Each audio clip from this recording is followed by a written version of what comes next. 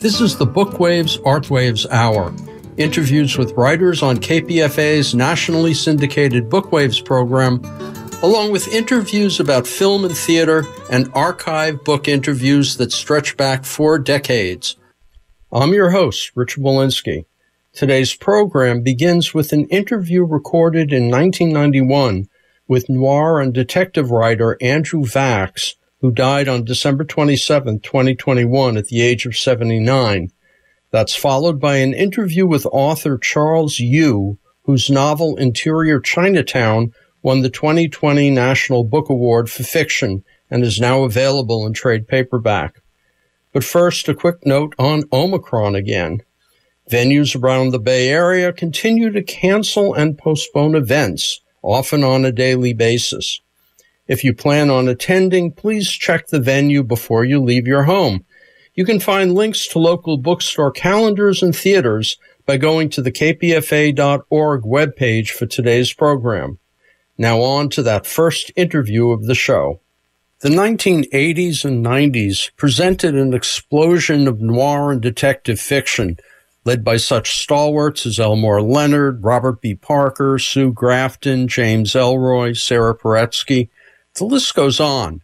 Among those first-rate practitioners was Andrew Vachss. In his early novels, which all featured a protagonist named Burke, he established not merely a unique character with a unique background and unusual associates, but also a way to bring the public's attention to child abuse and particularly child sexual abuse. On June 27, 1991, Richard A. Lupoff and I had a chance to speak with Andrew Vachss while he was on tour for his sixth novel, Sacrifice. I guess the place to start is with Burke. Who's Burke? Burke is the prototypical abused child with all the abused child's hypervigilance and distrust of systems and agencies and institutions. A man with a family of choice as opposed to the biological family he never had and not a private eye at all. In fact, almost the antithesis of the literary white knight. He's not a Chandler clone or a Parker imitation. He's a career criminal. What differentiates him from others of his breed is simply his over-identification with abused children and his reactions to that.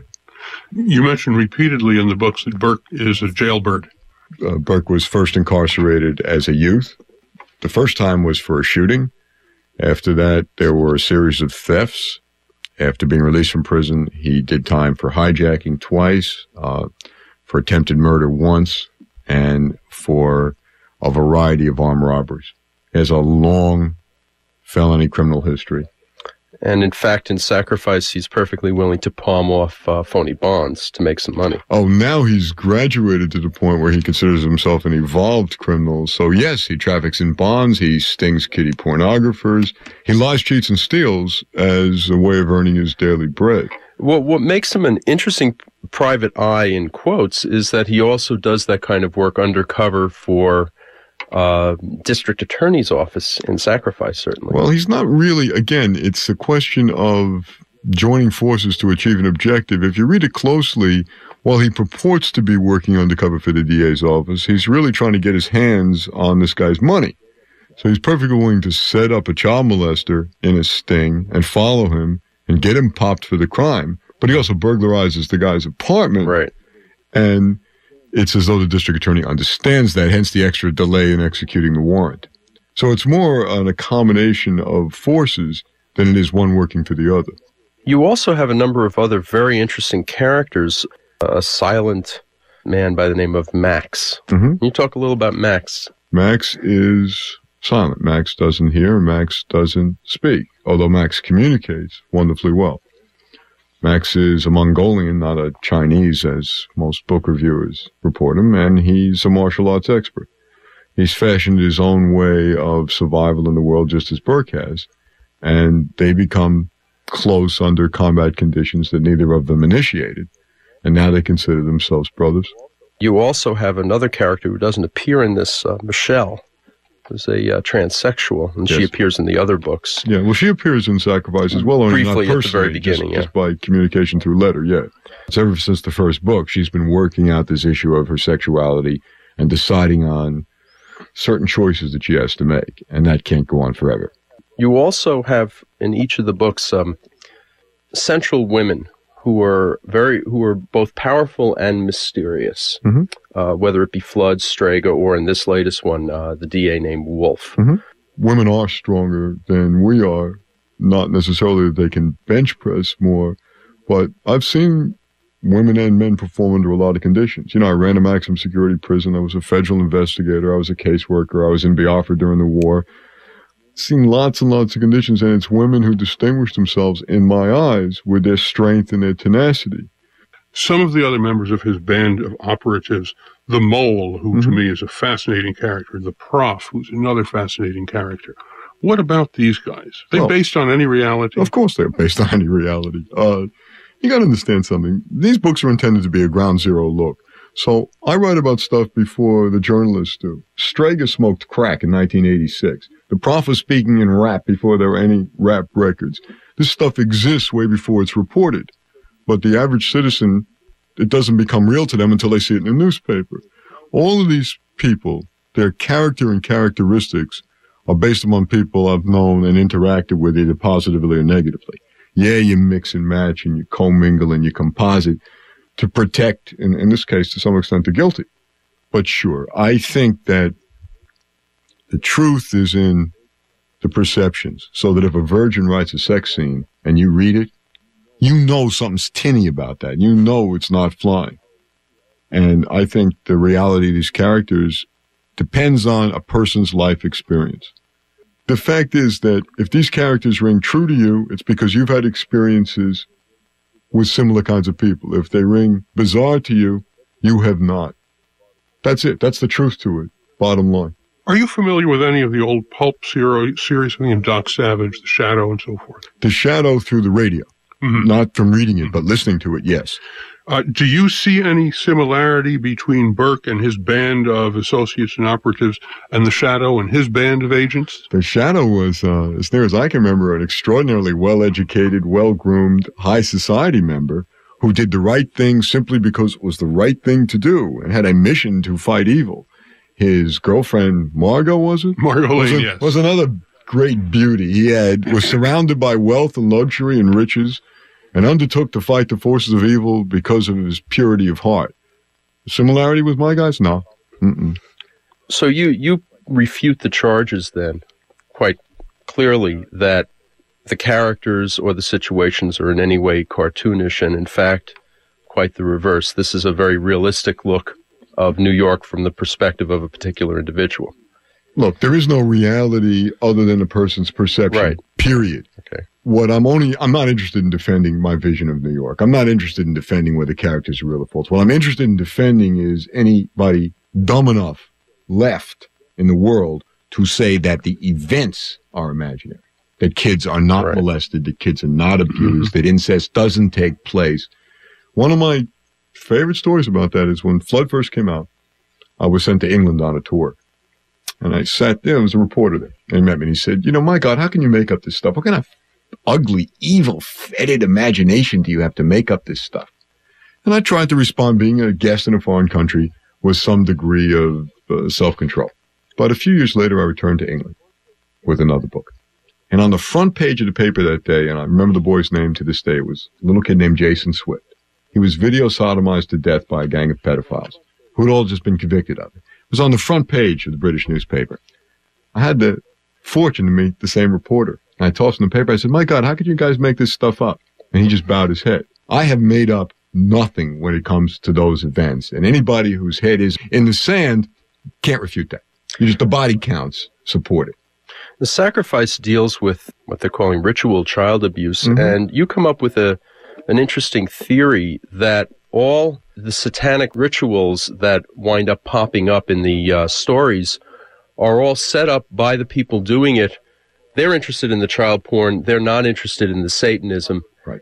And it's all it's all a cover so that nobody would believe the children's stories. Look, when a priest molests a child, do you call it Catholic child abuse?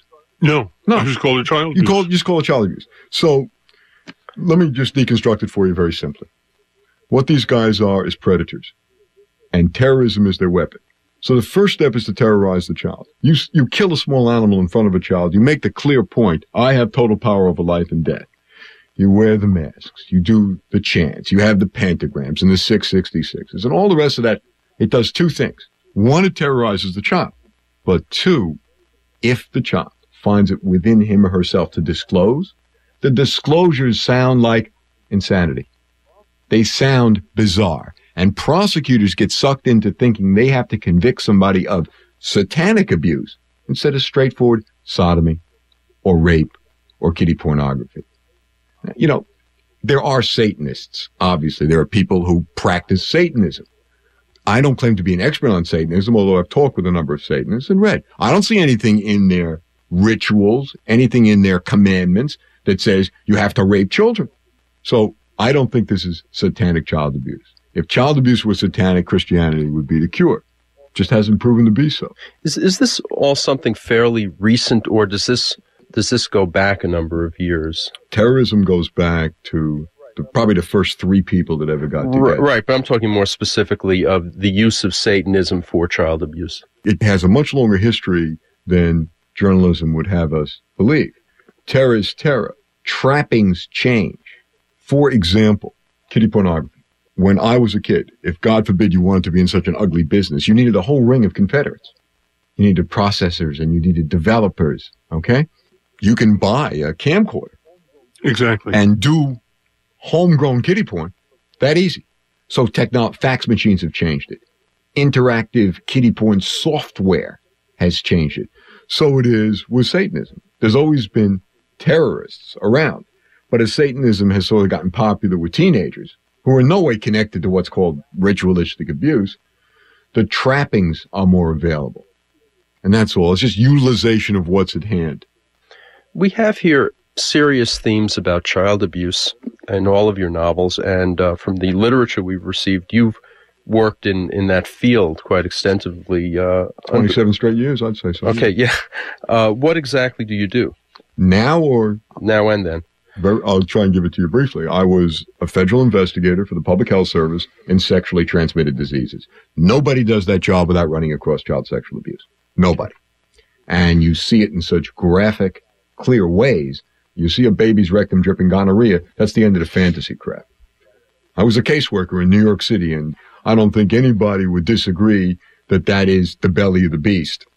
And again, you see child abuse. I went to Biafra during the war. You see literally national scope child abuse. You see a generation of children removed from the earth. I came back here. Did you want to ask me a question? About well, about Biafra, Mhm. uh, was this done out out of political motives? my going there or the homicide? No, no. These these acts was this uh, act- calculated? Well, the weapon of war, in addition to the planes and the bombs and the guns, was starvation. As you know, in any kind of Darwinistic way, those less able to fend with themselves are not going to survive. Clearly, if you use starvation as a weapon of war, it's going to be the children that go. Was it deliberately calculated by one side or the other? I couldn't say. It was such a foreseeable result that I can't think otherwise. Now, what were you doing in Biafra? uh, what I was doing there was mostly trying to leave, but uh, my mission was that. Do you remember the war? Sure, Remember- sure, okay. sure. You know, billions of dollars were raised. Okay, because unlike Ethiopia, they weren't just starving; they were being exterminated by various weapons. A group of foundations who raised a lot of money and who had UN consultant status wanted someone to penetrate the war zone. Because if you remember, the Red Cross plane had been shot down; there was no way in. Yes. You had to find your own way, penetrate the war zone, and simply tell them was the money that they were sending going for food, going for guns, not going there at all. That was the mission I accepted, and my qualification was being dumb enough to undertake it. And uh, what I got was a plane ticket to Lisbon and had to find my own way in. And I, I, you know, I did do that, but you know, I didn't save any children. I mean, I, I went there with that grandiose motive, but all I did was see, as I said, wholesale child abuse. You know, after I got back, I knocked around, did some things, and ended up um, running a group in Chicago that was essentially to service the migrant population from Appalachia. After that, I ran a reentry center for ex-convicts. And after that, I ran a maximum security prison for aggressive violent youth. Where was that? The last place? Yeah. In Massachusetts. Right outside of Boston, a place called Roslindale. It was the state institution for such children. It was only after that that I went to law school. So by then I went to law school with malice aforethought. I knew exactly what I wanted to do, and that was represent children. Since then, my practice is limited to representing children, and I do it in every form you could think of. Children who've had crimes committed upon them, children who have been accused of committing crimes, children abused and neglected by their parents, children abused by institutions, agencies, organizations, institutions like that. This interview with Andrew Vachss, who died on December 27, 2021, was recorded in the KPFA studios on June 27, 1991, with my co-host for Probabilities, Richard A. Lupoff. I'm Richard Wolinsky on the Book Waves Art Waves Hour. You mentioned your experience at Roslindale in Massachusetts. Mm-hmm. Do you feel that such institutions do anybody any good? I don't think any institution standing alone does anything. Institutions are just structures. I think that the staff, as it eventually evolved there, did some of the kids a world of good. The problem is that they were all mingled together. So we were very successful with the shooters, stabbers, and stompers. We were complete failures with the sex criminals. There's an almost cliche to the effect that so-called reform schools are really nothing but crime schools and that prisons are nothing but the graduate school equivalent thereof. Mm-hmm. Do you agree with this? I agree that they can be. I agree that to a great extent they have been. I don't agree that they must be so. We ran an institution for, quote, the worst kids in the state, unquote. And for some of them, there were significant breakthroughs and changes in behavior. And they went on because remember, it's been many years and I can look at them now. Yes. Uh, they went on to, I mean, listen, I'm not saying that they ended up being uh, something as noble as uh, a person that cured cancer or something as odious as a politician. I mean, something sort of in the middle, but they're human beings and they're citizens. With others, we, we had no such result. Uh, You use the term human beings, and, and that interests me. If we can get back to your books for a moment, most particularly the current one, Sacrifice. Uh, it seemed to me that in the shady, shadowy world where Burke lives, where we have criminals and, and their enemies, I, I won't even say crime fighters, they use the term human being or citizen occasionally to refer to anybody who isn't part of their peculiar subculture. Absolutely right. Absolutely right. It's exclusionary language. It's intended to be so. They believe the world is one side or the other side or non-combatants. When Burke says citizen, he means the kind of people that hurt him, the kind of people that look the way where others get hurt. Not with him. You know, with him, against him, or on the sidelines. Stand up or stand aside. I admit that his world's very black and white, but I'm tired of critics saying, well, geez, there's so many shades of gray. Well, there is for them. But I'm not pretending that what I'm writing is journalism. What I'm writing is a damaged person's point of view of that reality. You have a crusade and a cause. You have the background uh, to explore it in a nonfiction route. Why did you choose fiction? Okay? Very simple. My first book was a work of nonfiction. It was called The Lifestyle. See, you're giving me a very puzzled look. It was called The Lifestyle Violent Juvenile. It got wonderful reviews. It got no sales. Maybe it sold 2,500 copies. It's still on government reading lists if you're going to run a maximum security institution for juveniles. It was essentially these books with footnotes and without the narrative style and without protagonists that could talk directly to you. I am a preacher of sorts. I wanted a much bigger congregation. I'm a working man, so I don't have access to radio station, newspaper, magazine, TV. Books are the only way. So I went to the novels specifically with that purpose. And as far as saying I still don't write nonfiction, uh, if you read Parade magazine on Father's Day, if you, I write nonfiction articles all the time. But my appetite to do another nonfiction book, it's not there. The audience is huge for these books and minuscule for the nonfiction text. So you feel at this point, at least in America right now, if you want to get your word across, the way to do it is through fiction. Oh, I could write a nonfiction book that would sell really well, except that I'd be violating the confidentiality of my clients. I get an offer a week minimum from TV. Oh, we want to do this show about you. We just need to interview some of your clients. They're not going to do that. Not exposing my children to that. I'm not listening to the crap that it will benefit other children because it's not fair to make abused children take that way. You know, they've already been damaged enough. And this idea of exposing them to media scrutiny and then they have to deal with what they've said and how they've reacted 10 years later, 15 years later is wrong. It's just morally wrong, so I don't do that. Yeah, I could write nonfiction, but then I'd be talking about sources I couldn't disclose and things that I refuse to document because I'd be violating people's privacy. So this is pretty much what I'm stuck with. There's a reference in your latest book uh, in a courtroom scene to the so-called Rulon case. Is yes. this an actual oh, case? Oh, absolutely. Would you talk about that? Okay. Uh, essentially, and by the way, that section of the book, yes. again, to distinguish between fantasy, the California lawyer has reprinted that section of the book. So the Rulon case essentially said that a little girl was going to testify at trial. The social worker to calm her down took the witness stand, put the little girl on her lap, and the girl was allowed to testify from that position. The decision was that, you know, this polluted the process of transmitting information and the kid could have been given nonverbal signals and in any way tainted the adversarial process. So it wasn't allowed this section of my book is to make fun of that because what the little girl is doing is sitting there and patting a seeing eye dog. There's another element in the book. The child who was suffering from multiple personality syndrome, I believe his name was Luke. Yes. Also known as Satan's child and mm-hmm. so and baby, baby, baby. Mm-hmm. Toby. Luke is that book of the Bible which says if you harm a child, better that there be a millstone on your neck and you be thrown into the deepest sea.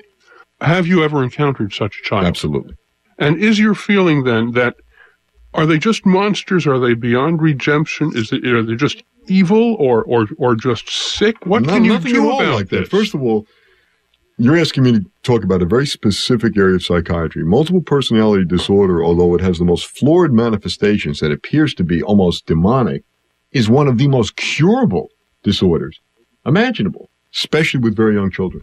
What you seek is fusion, the melding of all these split personalities into one. So, evil? That, that's, that's, that's ridiculous. Let me explain it to you this way.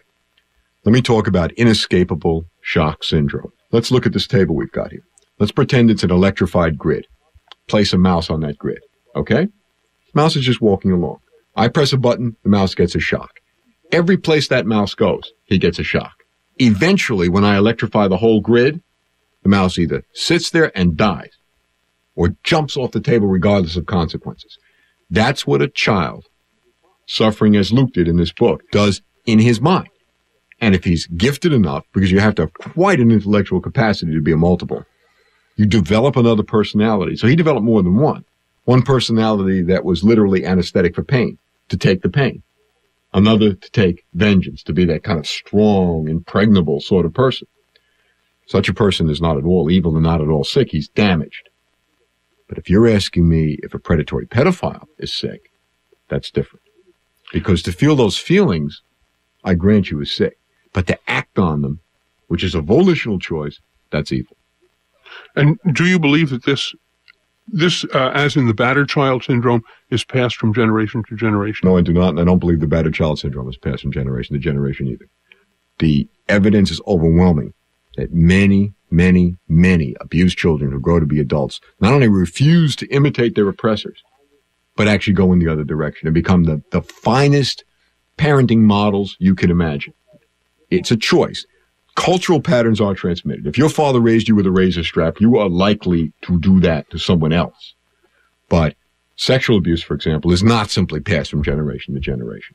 There has to be a volitional choice to do it. But that's, that's the point of this book is to demythologize. The ancients, our elders, they knew the truth. They just didn't have fancy euphemistic words like we do. They said vampire because what is a predatory pedophile? How does he breed? He has to feed on others. And if he feeds successfully, he replicates himself. What's a werewolf? Multiple personality disorder. They didn't have all these fancy words. Unfortunately, they knew more than us because we get a child molester. We get a freak. We get a stylized sadist. And we say he suffers from pedophilia. Now, you know, I just addressed an organization of psychiatrists. And I said, I know a guy. This guy habitually, continually, obsessively, compulsively sticks up 7 Elevens. Now, what is he, suffering from armed robbery? And he refuses to confess. Does that mean he's in denial? I mean, when are you going to stop this stuff? Best case scenario, you're in charge of dealing with the entire issue. What do you do? I'm going to have to speak in epigrams because we don't have the hours that it would take to really go into right. this. First thing I do is I raise the stakes. Right now, it's too damn cheap a game to hurt children. It is insane. This country is nuts when it talks about a war on drugs and not a war, a war on child molestation. The war on drugs we already lost and we're all POWs. That was baloney from the beginning. But a war on child molestation would reward every American. Today's victim is odds on to become tomorrow's predator. If you're really interested in crime prevention, we put all our money in at the front end. You do not get a John Wayne Gacy, a Ted Bundy, a Charles Manson by biogenetic mutation. You get it by that inescapable shock syndrome I described. You get it by systematic, chronic, ugly child abuse. And the price of not intervening, or the price of government knowing and refusing to intervene, is the building of a sociopath, which is nothing more than a creature without empathy. Person who feels only his own pain. Now, when such people go ambulatory, they're big successes on Wall Street. Okay? It's only when their means of self gratification is dangerous to human beings in a physical way that we call them monsters. But serial killers, multiple rapists, they are created creatures. So the first thing we do is front end it. And the second thing we do is raise the stakes at the back end. Now that's very broad, but that's exactly what I'd do if I was in charge. And what it would do is satisfy the humanitarian instinct in some of us and in all of us appeal to our self-interest. Every single one of us. In these books, uh, certainly in in uh, Sacrifice, and as I recall in several of the earlier ones, uh, we have Burke pursuing uh, uh, a child molestation case in one mm. form or another, right. coming to the end and building into a giant, uh, pardon the expression, sort of Mickey Spillane esque apocalypse at the end with heavy fire from weapons and all sorts of being um, uh, violence and explosiveness going on. Uh, is this deliberate and, and by calculation on your part? It's difficult for me to answer the question because I disagree with its premise. I know the books. I wrote them. Tell me the ending of Hard Candy. Where's the apocalypse? Where's the explosion? Where's anything?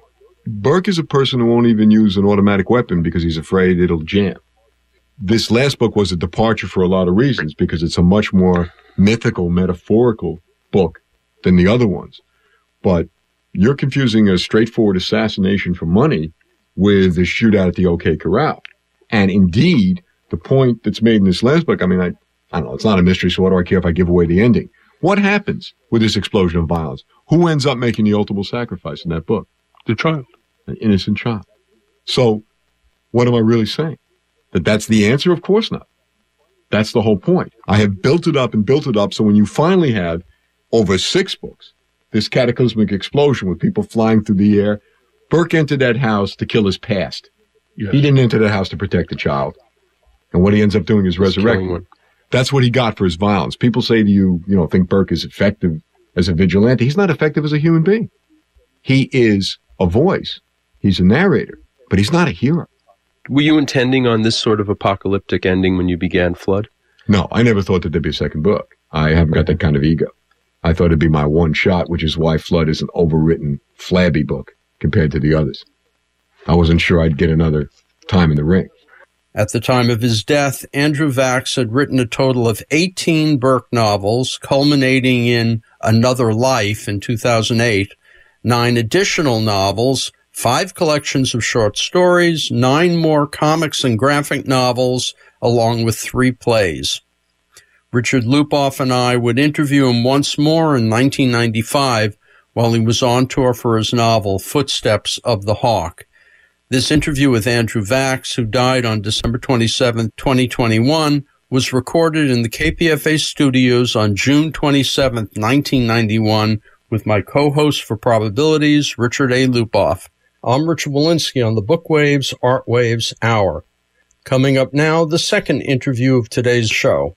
My guest is Charles Yu, whose novel is titled Interior Chinatown, won the 2020 National Book Award for Fiction.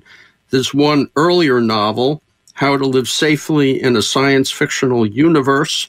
There are two short story collections Third Class Superhero, and Sorry, Please, Thank You. Charles Yu also was, I guess, on the staff, writing staff of the first season of Westworld as a story editor, co wrote one episode, also wrote episodes of Lodge 49, Here and Now, and a show I've never heard of, Sorry for Your Loss. Also, uh, several articles written for The Atlantic, New York Times Style magazine. Charles Yu, I want to go into your whole career, but it seems to me that in reading Interior Chinatown, what you're doing is you're mashing up about 10 different genres from the polemic to the screenplay to science fiction and fantasy and possibly autobiography in there too. Mashing up is fair, probably a little more intentional than the reality. Uh, you know, I wrote the story as it kind of came to me. Only as it sort of took shape did I realize, oh, it's it's got this and that this bit does feel, you know, like polemic. This bit does feel obviously structured as a screenplay. And there are some parts that are inspired by autobiographical things, but lightly to moderately fictionalized. And in some cases, it's very fictionalized. Well, obviously, it's very fictionalized since it exists in a world that doesn't exist. But I, I was thinking, of course, about the story of the parents of the main character, Willis Wu, in particular, their stories, does that have uh, a background in the story of your parents? It does. Yeah, that's right. My parents did both immigrate to the U.S. from Taiwan in the 60s.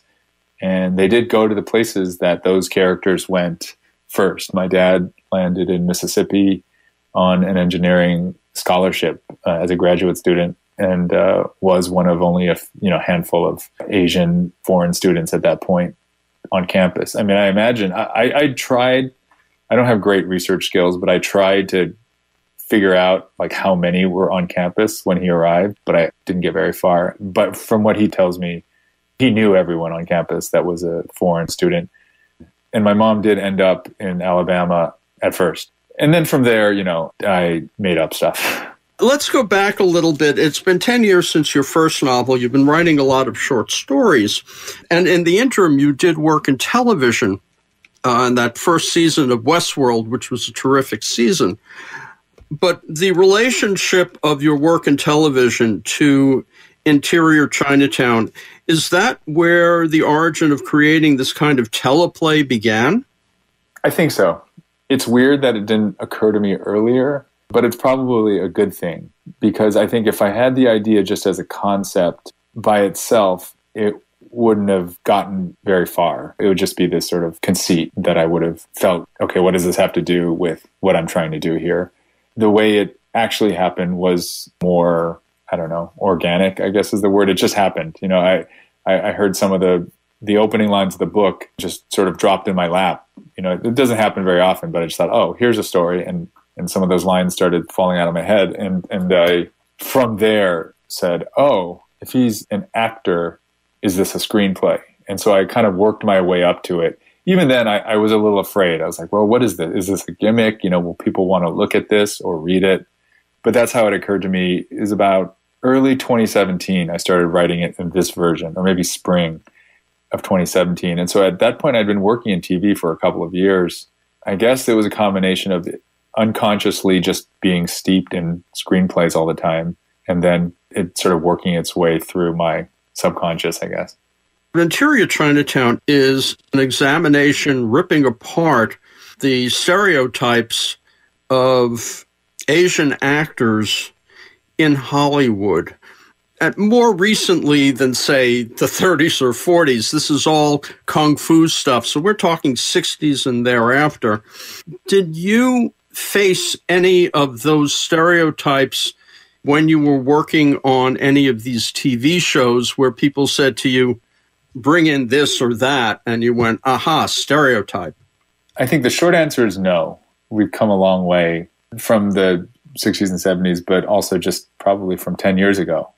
The rooms that I was working in on all those shows, uh, the writers are really thoughtful, talented, and sensitive people that to some extent, if I had personal experience to bring to the story, they would be interested in hearing it. But they didn't pigeonhole me for the most part and look to me to be the sort of mouthpiece or authority on any questions for the most part. I, I think there were moments here and there where if there's an Asian American character on screen, there's a feeling of, well, we definitely should make sure that we hear what Charlie has to say, you know, before we decide on a direction. But I think of that more as kind of a deference or desire to be inclusive or to listen than anything else. The place where I think that there's some stereotyping, but maybe it is stereotyping, is, is a little more unconscious and it's a little more on the macro level of like if a character is of Asian descent, specifically East Asian descent, there's sometimes a, a thought that we have to go into that character's backstory in a way that touches on their heritage or their ancestry, you know, or their country of origin that I don't think happens with, say, characters of European descent to the same extent. You know, I think the idea of like, oh, this character's from wherever, you know, this country. And maybe it's because the family immigrated more recently, in theory, in the story. So there could be good reason for that. But I, I did find sometimes that there was like a desire to to bring in an Asian American's background in a way that, you know, doesn't necessarily match with my personal experience. You know, I was born and raised in LA. My parents are from Taiwan, and I was definitely raised with a sense of identity about, you know, my ancestry and heritage. But uh, on a day to day level, it's not like I'm walking around thinking about, you know, any of that. And so I don't, I don't know if that's exactly a stereotype, but I think that's a maybe um, an interesting sort of byproduct of having this inclusiveness is that you, people want to talk about my story or stories that would be close to my experience in a way that doesn't always really match my actual experience. Charles Yu, let's talk specifically about Interior Chinatown.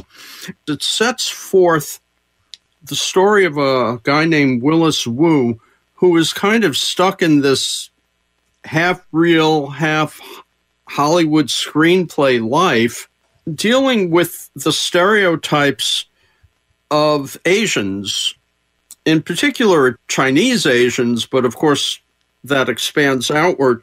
When you were constructing it or writing it, how did the stereotype, the idea of the kung fu man, of the Asian man, the um, dead Asian man, the generic Asian man, the Asiatic seductress. How did all of that come together?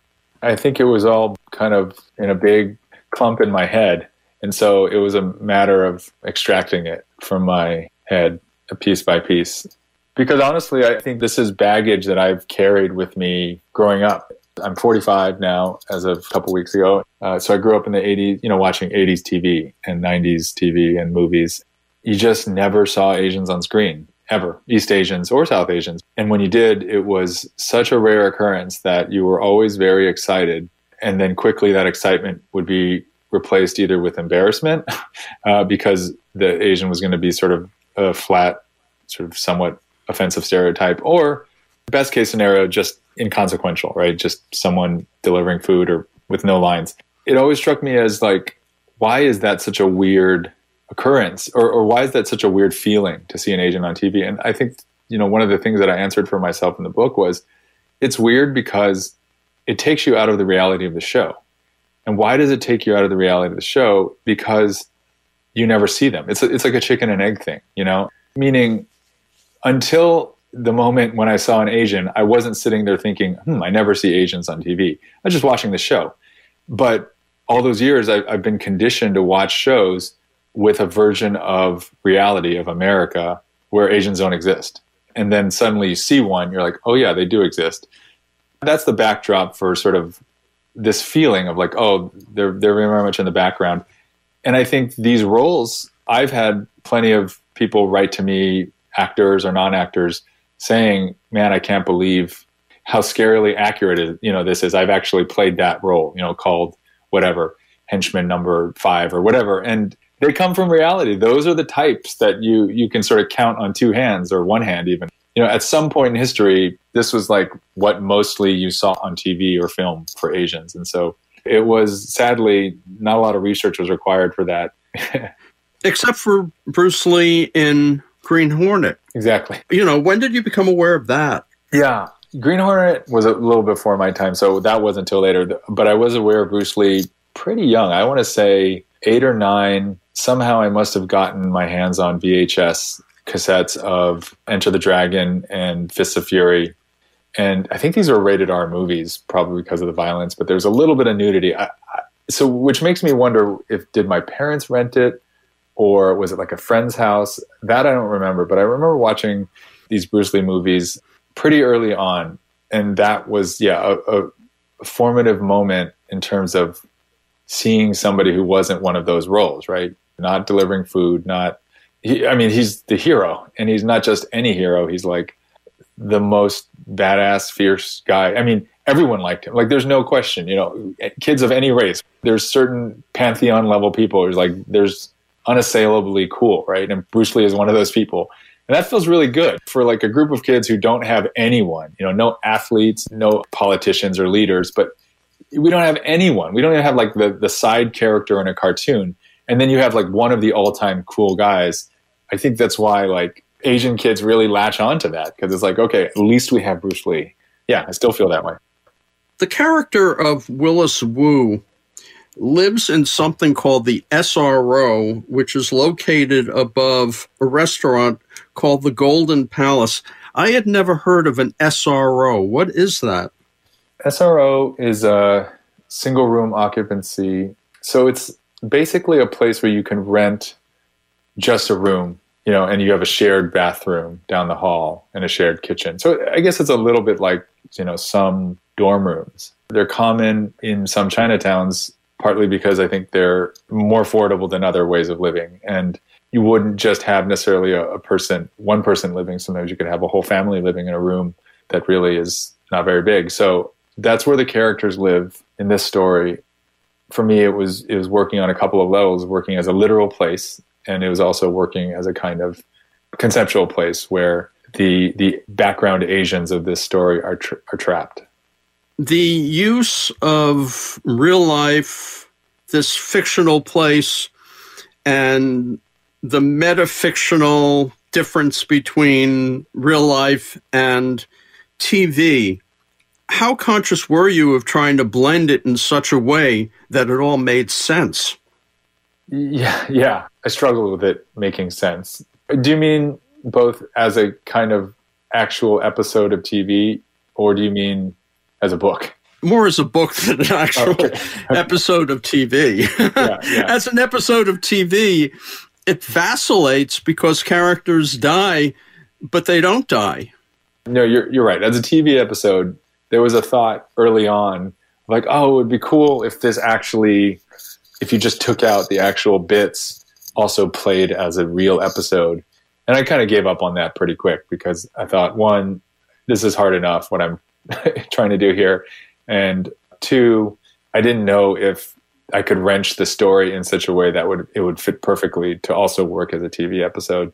Probably I could have, but I think it would have taken even longer. But as a book, it was like really um, a challenge, and I had a lot of help from my editor and my book agent. They were both reading drafts of this as it came along, and we had a lot of discussions about does this make sense? The big one was what is the reality of what's going on?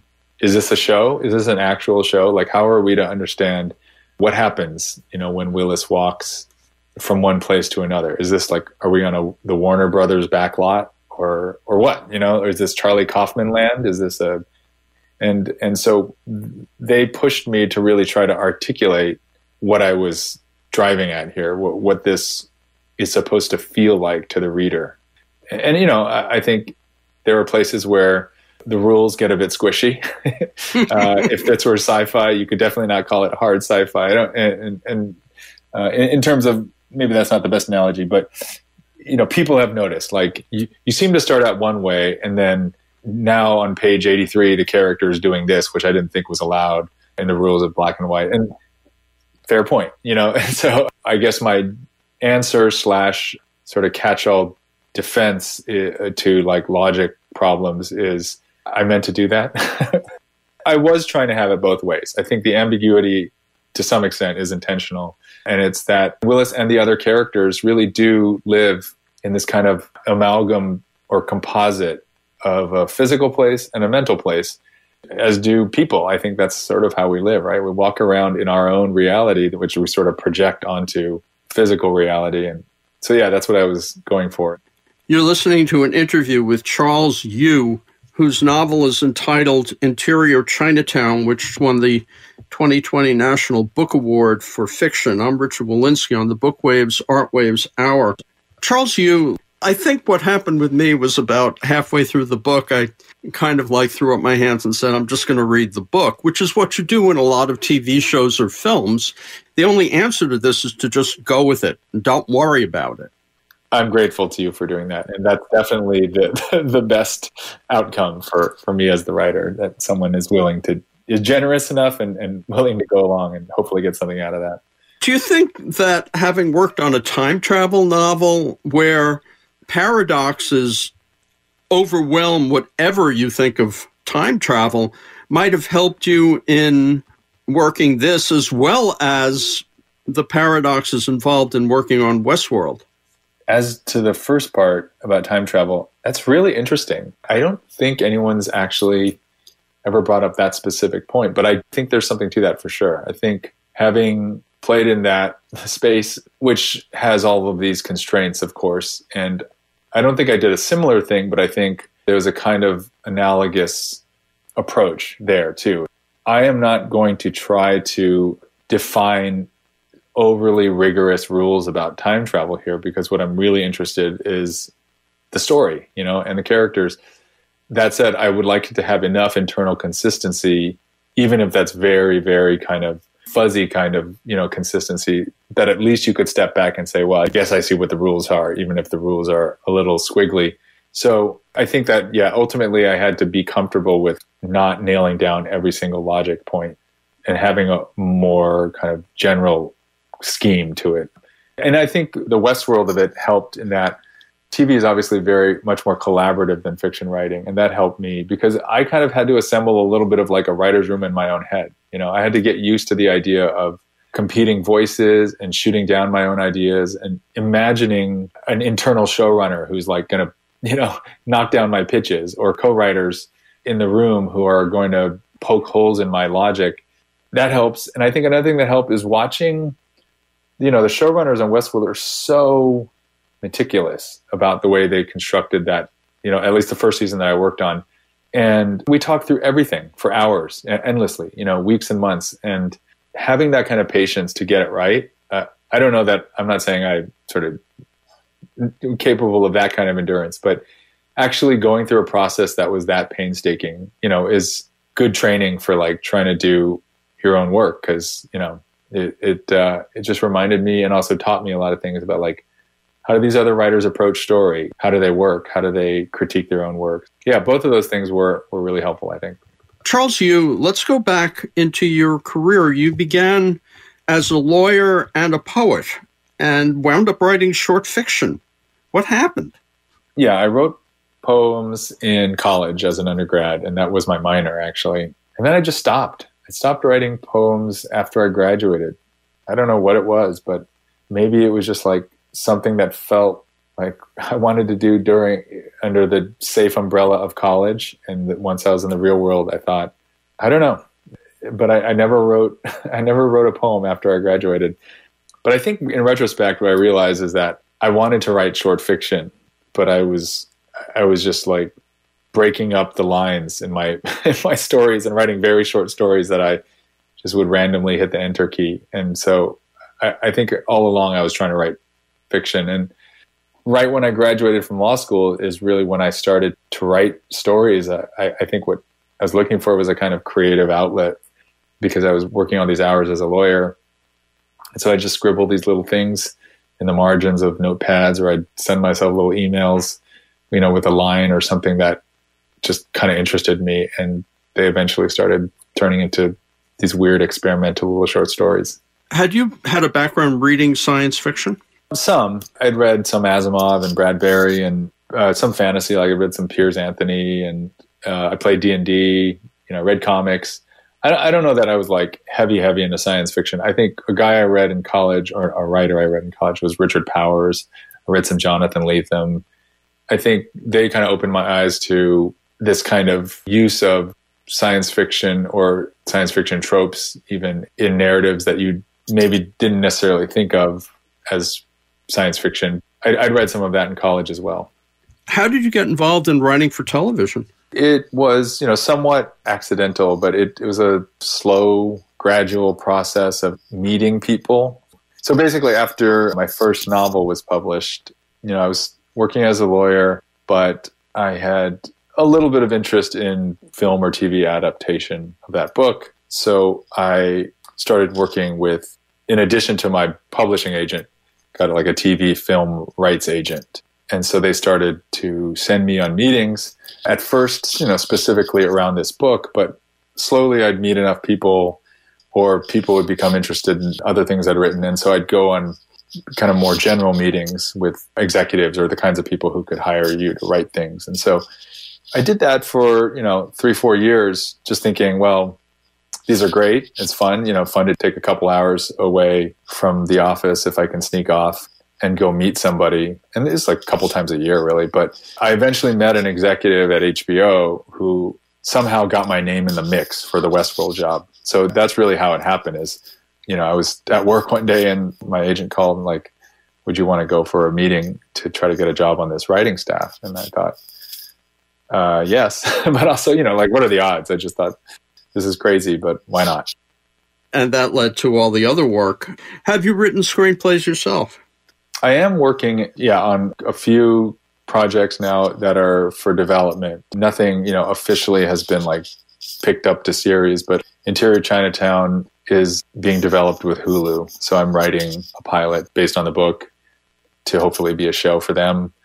And a couple of other similar projects where I think I'm not allowed to talk about it, electrocute my chair or something. But uh, yeah, but yeah, so that that's that's only in the last couple of years. After I think having worked in writers' rooms for a while, people will sort of take a chance, say, "Well, you know, you've learned enough. Like, can you try to do this for your own project?" How has the pandemic affected your career that way? I mean, it's changed it. I definitely do a lot less driving because I used to have to drive to LA for all these meetings, and now I get to just Zoom with people. So that's nice. You know, I miss aspects. I miss people, obviously, but sometimes you like, you know, go into a fancy office and you get a bottle of water.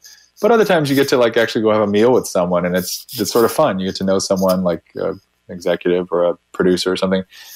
But for the most part, it just means like I get to sit in my house and read and write and see my family more. So I love that I'm actually both more productive and home more.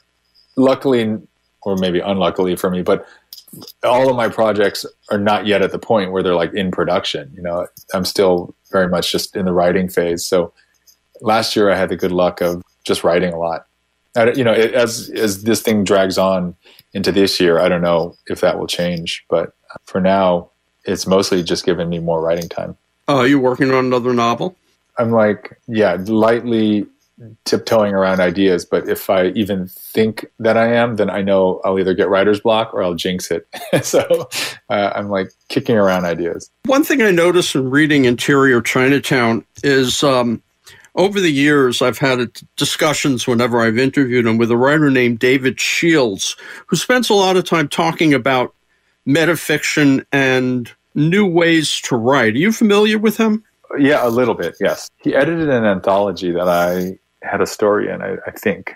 The reason I mentioned this is because you are part of what seems to be obviously you're not thinking in those terms, a kind of movement away from straight on narrative fiction, uh, what he calls big bloated novels. So I guess my question to you is is that what you read as well? Is that where your interest lies, or it just happens to be what you're writing?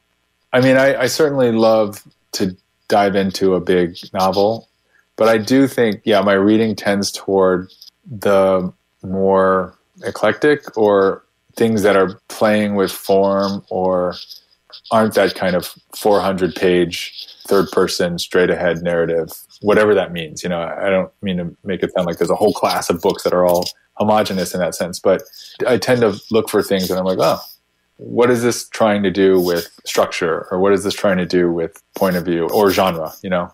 Charles Yu, we've been stuck in this pandemic universe for a year.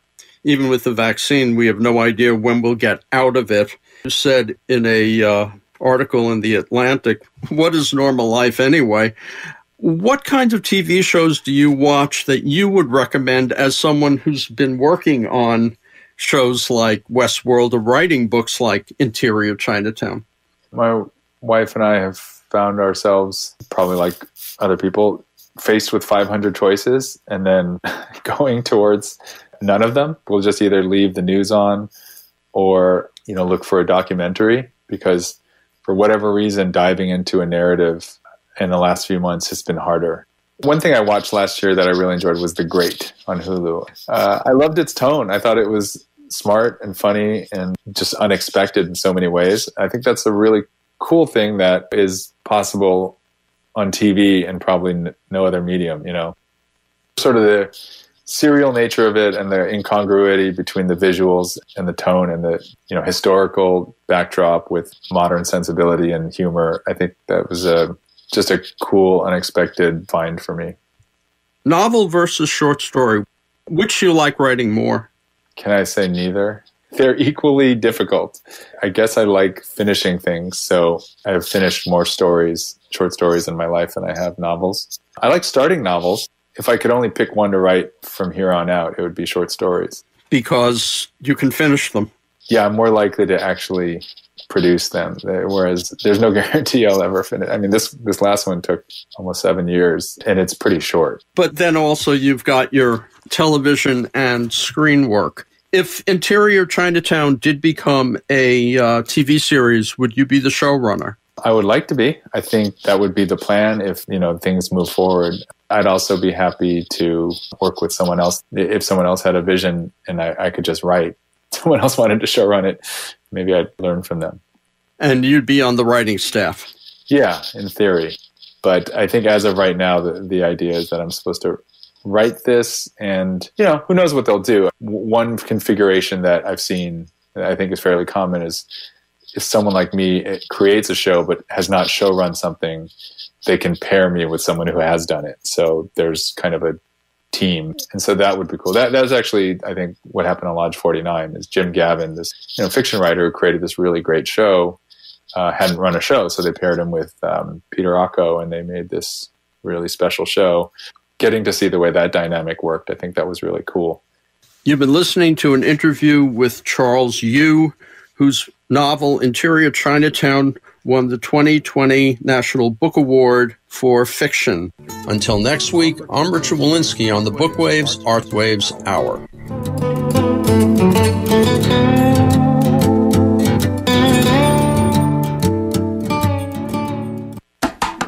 Greetings, friends. This is Bob Baldock, KPFA's producer of author events for the past 30 years. KPFA is about to present a Zoom event concerning my own just published memoir about my participation in the Cuban Revolution with Fidel Castro's 26th of July movement. Written as a novel, the memoir is titled Wild Green Oranges. I'll be interviewed on January 27th at 7 p.m. by Kevin Hunziker, KPFA's development director. We'll discuss the many months some years ago when I was the only U.S. citizen who served as a combatant with Fidel's group in the Sierra Maestra. This will be the last event Ken Preston and I produce for the station, but events will continue. Warm thanks for supporting us over the years. Our final Zoom event about my own book is January 27th, 7 p.m. I'm Kevin H., KPFA's new development director. I've been a longtime fan of the station's programming and mission that speaks truth to power and protects the health, wealth, and welfare of our listeners. I'm here to help all donors, especially our monthly sustainers. Also, to streamline the donation process for legacy gifts, stock donations, and employer matching. Please help us stay as vigilant as always and become a member today at kpfa.org. Thank you.